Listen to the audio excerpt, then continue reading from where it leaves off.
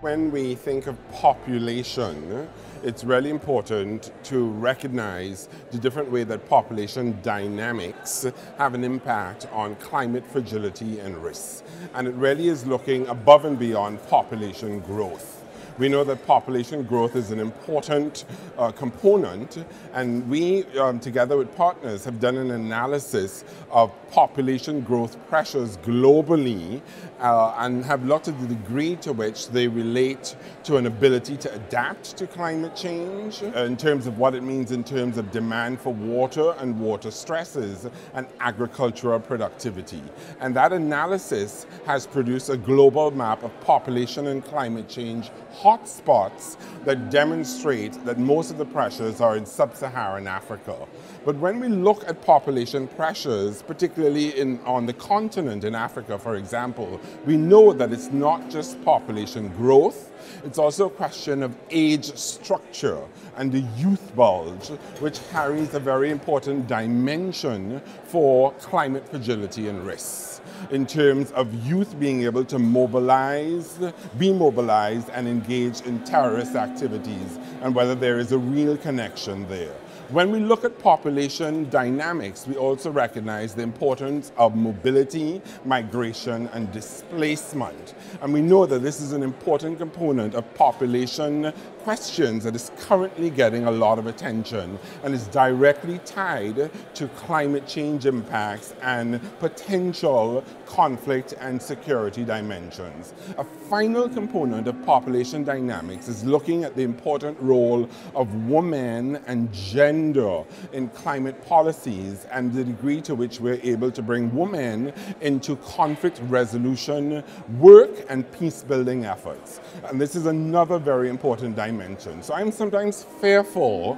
that folks only focus on population growth, but there's a real need to systematically and purposefully look at population dynamics overall and make the very important, salient, and current connections to climate change and security dimensions uh, now and for the immediate future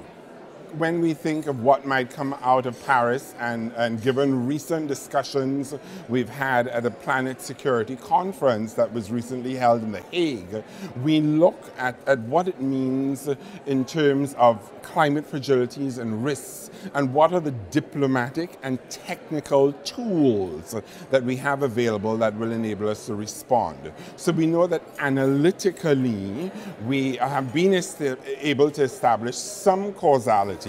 not always direct, it's indirect. And because it's indirect, it means from a diplomatic perspective, there are different levers and points of entry to make a difference. I think in a recent report that we have worked on that was commissioned by the G7, we talk about these in terms of a series of compound risks that relate to food security, that relate to unintended consequences, that relate to um, volatility in markets, for example. So those are really very important points of entry where we know the diplomatic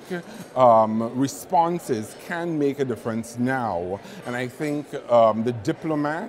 that we work with need to have very concrete and specific tools and see the value of those tools that they can use now. So, for example, we were recently discussing these dynamics of the Sahel, and in talking to diplomats who are working along um, fragilities in terms of ethnic divisions, they said to me, You know, Roger Mark, I can go into these communities and we can work on conflict resolution mechanisms, but at the same time, we have to be cognizant of other issues like youth mobilization into terrorist activities. And there are certain groups that we cannot interact with because they're blacklisted among diplomatic circles. So there's an added level of complexity which provides a very sophisticated diplomatic roadmap that needs to be dynamic and responsive, but presents huge opportunities and tremendous wins if we figure it out soon.